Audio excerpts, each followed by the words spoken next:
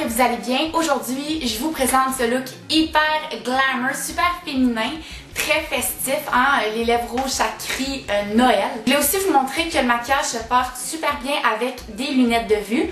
Donc, je vais euh, mettre mes lunettes. Comme vous pouvez voir, euh, ça fait sortir les yeux. Là, c'est sûr que mes lunettes sont pas super propres. J'espère que vous voyez pas trop à caméra.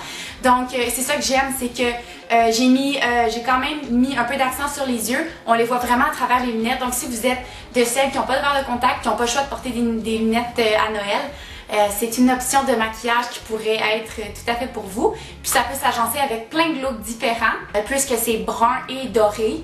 Euh, donc on peut porter avec pas mal n'importe quoi. Vous pouvez, prendre, vous pouvez mettre aussi un rouge à lèvres qui est un petit peu moins intense. Ça pourrait être un nude, ça pourrait être un, un violet mauve en anglais.